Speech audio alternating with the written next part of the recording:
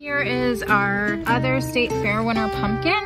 It's doing really good still. It's grown a lot over the past couple of days. Our other state fair winner pumpkin pictured here is 65 pounds. So I don't know if this one's gonna quite make that size, but we'll see. I really like this plant. The leaves on it, I've had no issues with powdery mildew yet, and all the leaves look really good on it. So we look forward to seeing how big this state fair winner pumpkin gets.